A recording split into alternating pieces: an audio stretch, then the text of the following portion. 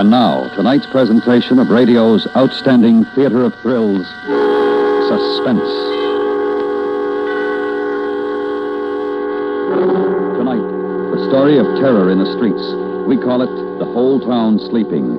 So now, starring Miss Jeanette Nolan, here is tonight's suspense play written by Ray Bradbury The Whole Town's Sleeping.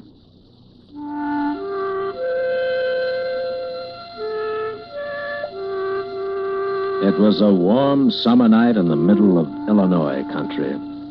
The little town was deep, far away from everything, kept to itself by a river and a forest and a ravine. In the town, the sidewalks were still scorched. The stores were closing, and the streets were turning dark. Screen doors whined their springs and banged, and there was the sound of Grandma Hanlon's swing hammock across the street. On her solitary porch, Lavinia Nebbs, age 37, very straight and slim, sat with a tinkling lemonade in her white fingers, tapping it to her lips, waiting. Here I am, Lavinia. Lavinia turned. There was Francine at the bottom porch step. She was all in snow white and didn't look 35. I won't be a minute, Francine. I'll just lock the door. All right.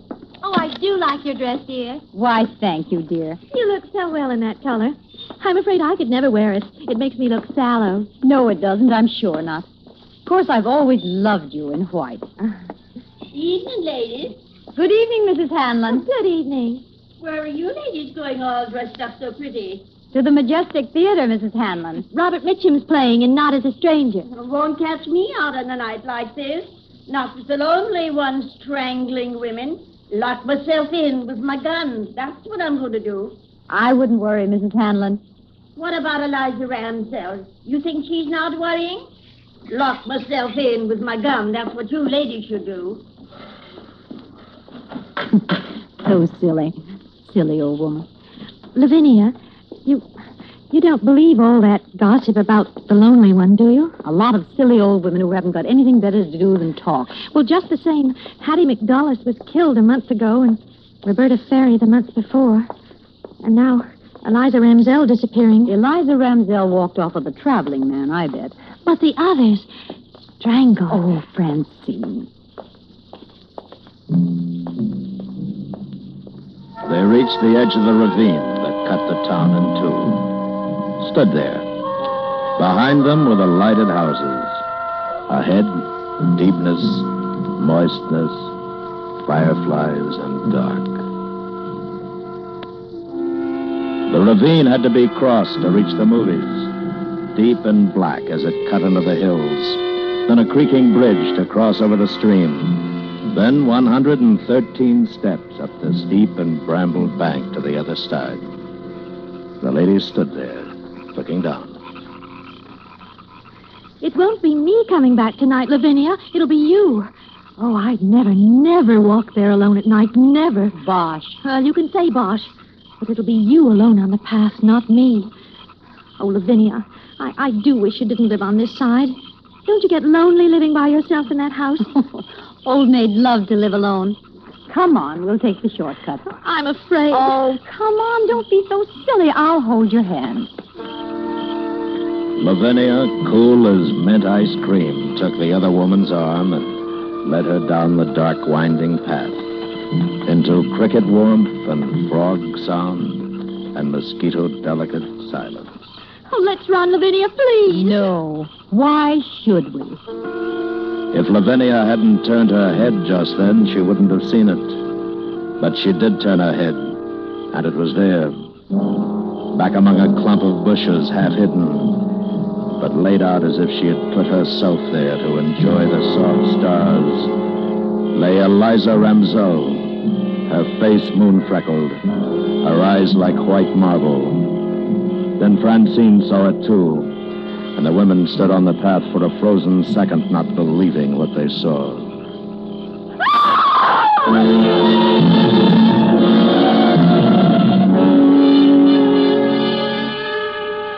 Lavinia held Francine, and the policemen were all around in the ravine grass. Flashlights darted about, voices mingled, And the night grew on toward 8.30. You, uh, didn't move her, ladies. Of course not. Oh, no, we couldn't touch her. How could we? And there was nobody? You didn't hear anything? Sounds, anything unusual? No, nothing. It's it's the lonely one, isn't it? He did it, didn't he? Couldn't say, ma'am. We we knew her, you know. She was a friend of ours. Oh, I'm sorry. Well, I'll have one of my men walk you across the ravine. That won't be necessary. Thank you very much. We'll be all right. Oh, Lavinia. Come along, dear. And they crossed the ravine, each with her own thoughts, fears. And the creek waters under the bridge whispered, I'm the lonely one. I'm the lonely one. I kill people. Then they were at the top of the stairs and bathed in safe light from the street lamp. I've never seen a dead person before. It's only a little after 8.30. We'll pick up Helen and get on to the show. The show. Oh, Lavinia, you don't mean it. Of course I do. We've got to forget this. It's not good to remember. But Eliza's back there. We need to laugh. We've got to pretend that nothing happened. But she was our friend. We mm. can't help her. There's no good brooding about it. I'm going to get it out of my mind, and you should too. Now, if we hurry, we won't miss too much.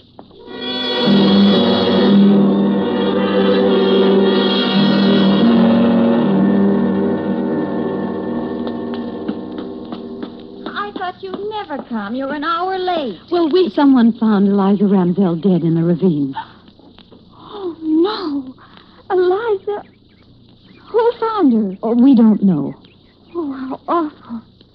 Did you see her? Was it terrible? Let's not talk about it. Oh, I really think I should lock myself in my house. I don't think we'd better go tonight. Of course we will. It's the last showing today. Besides, the lonely one can't kill three ladies. There's safety in numbers. Anyway, it's it's too soon. The murders come a month separated. Come along, Helen. Well, oh, I'll get a sweater. You wait for me. Why didn't you tell her about us finding Eliza? Why upset her? Time enough tomorrow. I told you tonight we've got to forget. We're going to the show and let's not talk about it anymore. Enough's enough.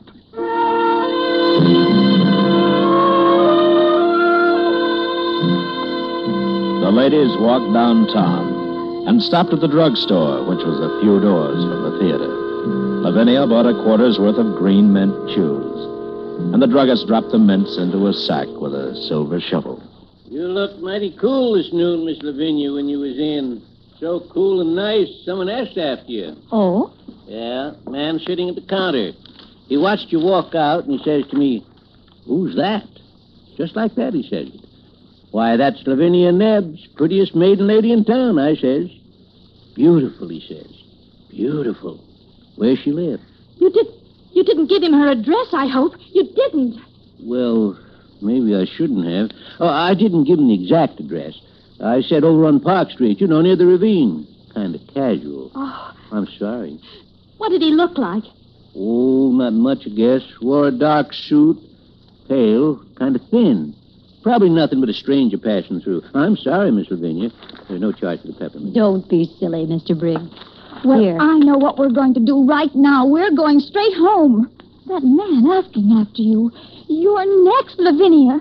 You want to be dead in that ravine? It was just a man. That's all. It doesn't mean a thing. That's what I figured. Nothing to worry about. Nothing to worry about. I'm not going to miss the movie. You two can do what you want. I'm going. Well, I think we should all go home. So do I. She's right, Lavinia. No, she's not. Yes, she is. listen. They argued for five minutes, then the three of them went to the theater. Francine and Helen reluctantly, Lavinia head high, self possessed, cool. In the auditorium, they sat in the odor of ancient brass polish, waiting for the second show to begin. And the lights began to fade.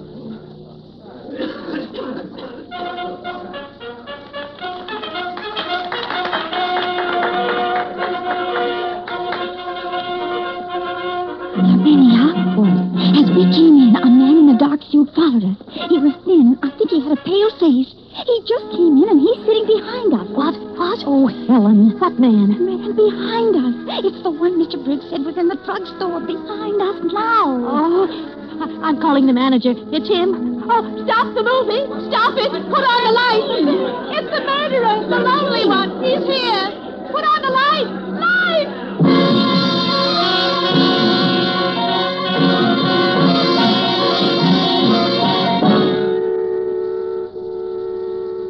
The drugstore clock said 11:25. They'd come out of the theater feeling new, and now they were laughing at Francine. And Francine was laughing at herself. You see how silly it was. All that riot for nothing. When you went running up the aisle screaming lights, honestly, I thought I'd die. Oh, that poor man. The theater manager's brother from Racine.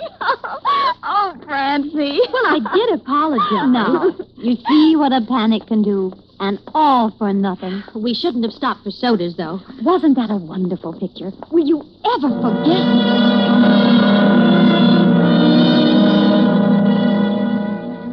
Streets were clean and empty. Not a car or a truck or a person was in sight. The ladies walked under a flickering neon sign, buzzing like a dying insect. The sounds of their heels shot on the baked pavement. First, we'll walk you home, Francine. Oh, no, I'll walk you home. If you walked me home, you'd have to come back across the ravine alone. I know you. If a leaf even fell on you, you'd drop dead. Well, I I could stay the night at your house. No, it's all settled. First, I'll take you home, and then Helen.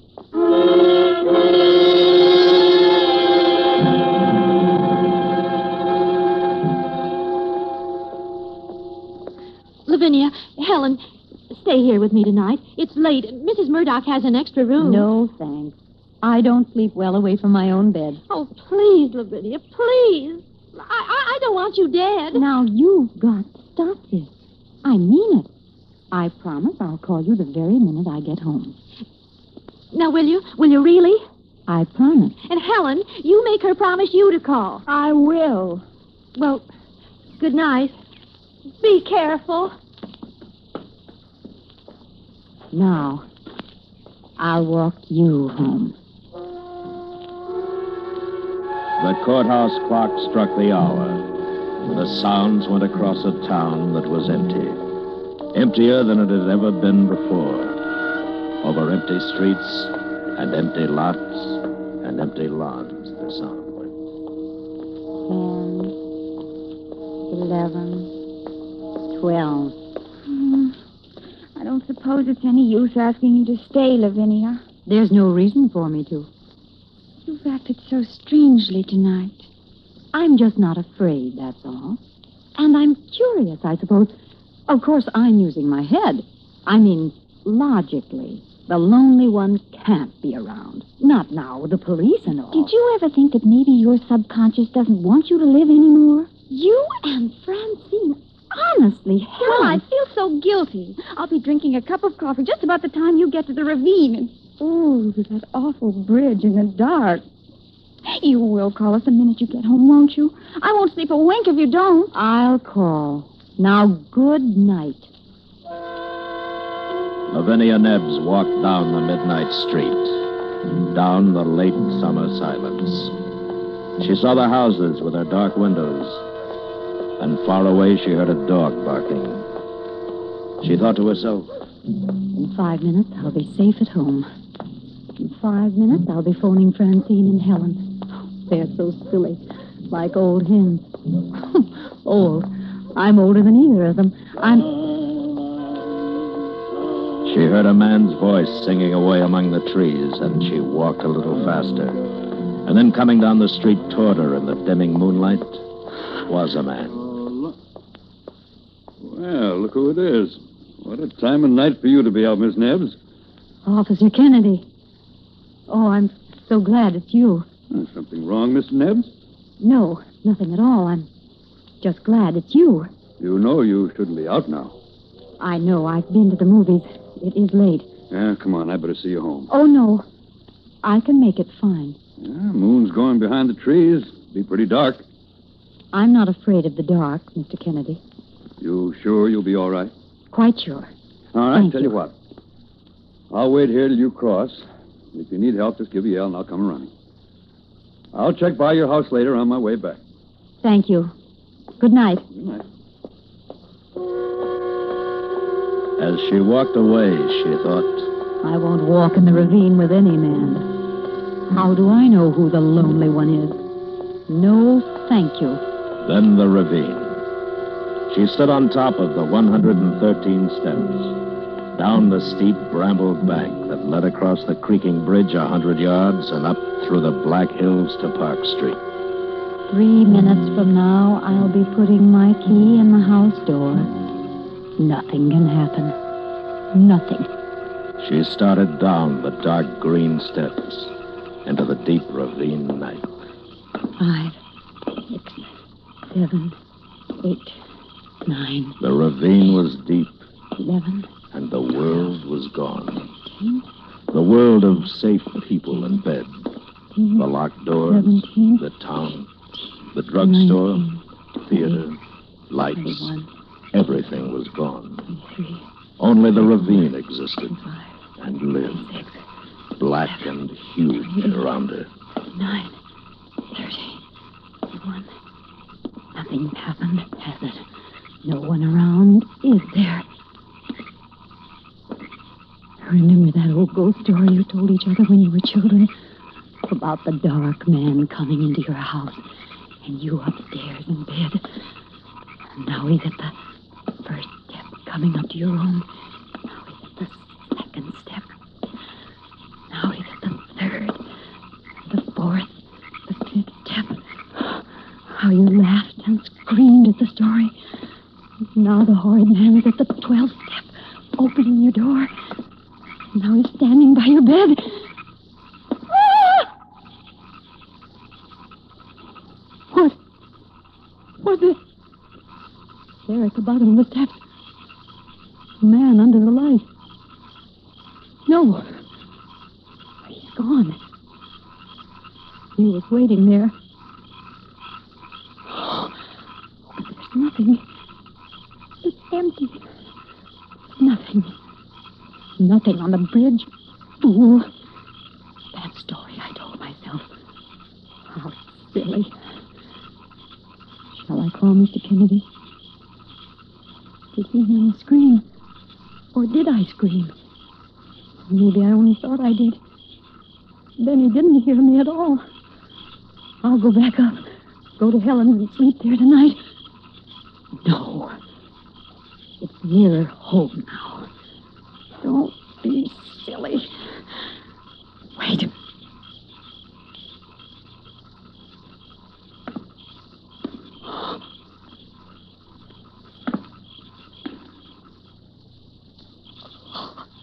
Someone following me. Someone on the stairs behind me. I don't dare turn around.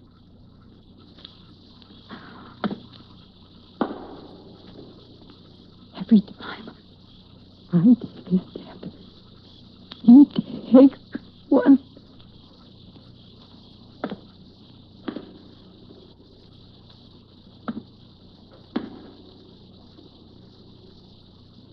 Officer Kennedy, is that you? Is it? The crickets were suddenly still. The crickets were listening. The night was listening to her. Then there was a sound. Only a woodchuck, surely, beating a hollow log. But it was Lavinia Nebbs. It was most surely the heart of Lavinia Nebbs. She went down the steps faster, faster, run. She heard music. In a mad way, a silly way, she heard the surge of music that pounded at her, Rush, plunging her faster and faster down, down into the pit of the ravine. Only a little way. Across the bridge. Run!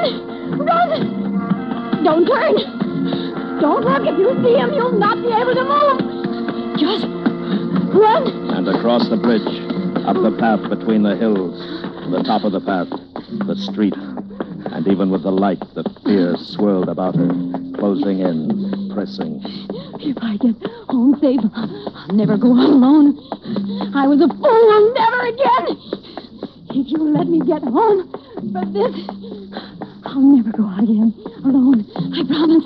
Please,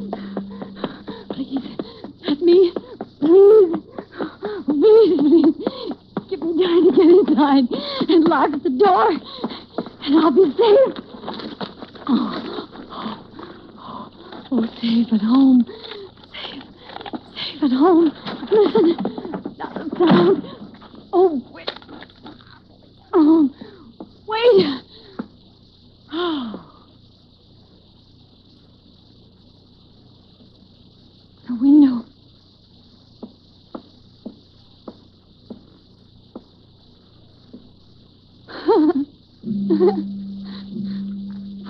There's no one there at all. Nobody. Was no one following me at all. Nobody running after me. How silly. If a man had been following me, he'd have caught me. I can't run as fast as a man. I wasn't running from anything except me. The ravine was safer than safe. Oh, nice to be home now.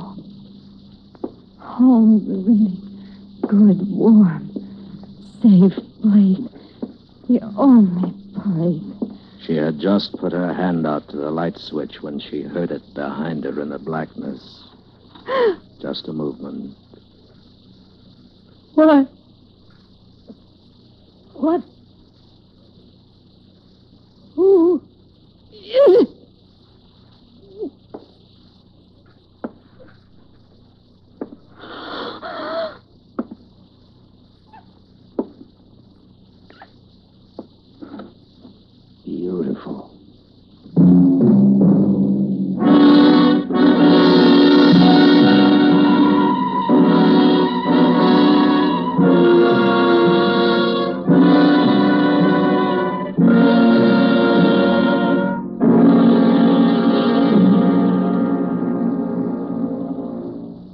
Suspense, in which Miss Jeanette Nolan starred with Paula Winslow, Eve McVeigh, and Bill Conrad in tonight's presentation of Ray Bradbury's The Whole Town's Sleeping, adapted by Anthony Ellis.